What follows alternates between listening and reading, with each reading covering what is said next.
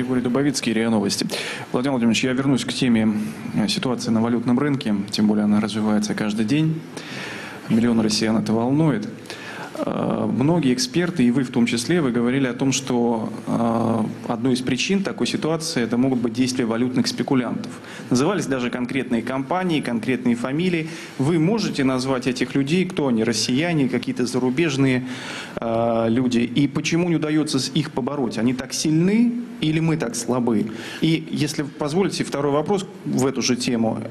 Планирует ли фиксация курса рубля или деноминация рубля?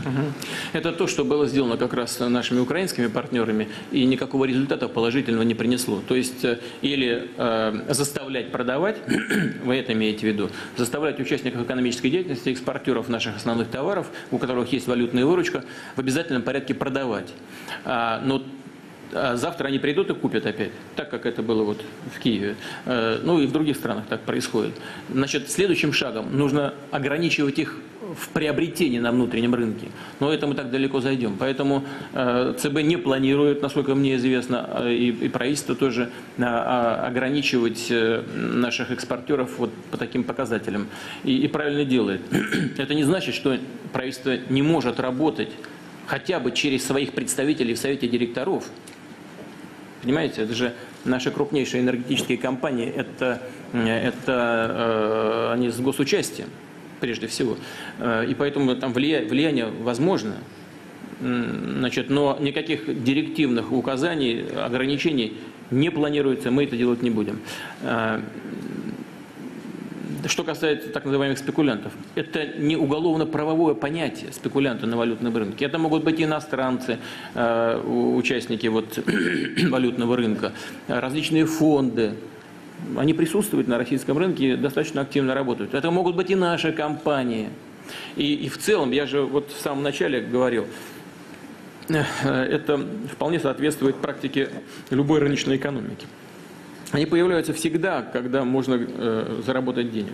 Не, не украсть, не, не кого-то надуть, а именно э, поработать на рынке, создавая для себя благоприятную ситуацию, подталкивая, допустим, как это было вот в начале этого процесса, скажем, э, в данном случае Центральный банк Российской Федерации, выходить э, на рынок и продавать золотовалютные резервы э, в, в надежде поддержать курс национальной валюты, проводить так называемые интервенции. Ну, ЦБ остановился и правильно сделал.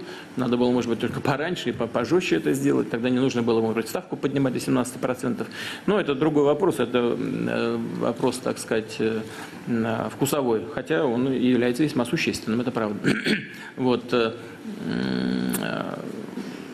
ну что? Вот я сказал, кто это такие. Знаете, вот позавчера тоже, нет, два дня назад, я с некоторыми из них разговаривал по телефону, по дружбе.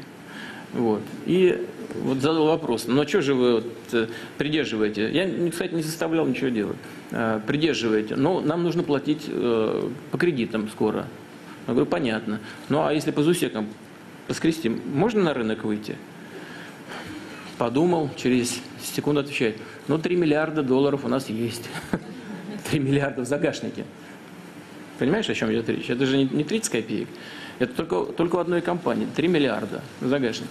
Вот так вот по 3 миллиарда, их, знаете, что там наберется не 30, а может 3, 300 миллиардов.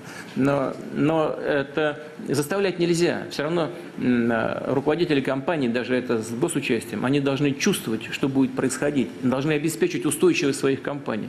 А для этого правительство должно с ними работать в тесном контакте и обеспечить их не только э, вместе с ЦБ, не, не только э, валютной, но и рублевой ликвидностью тогда, когда это им нужно.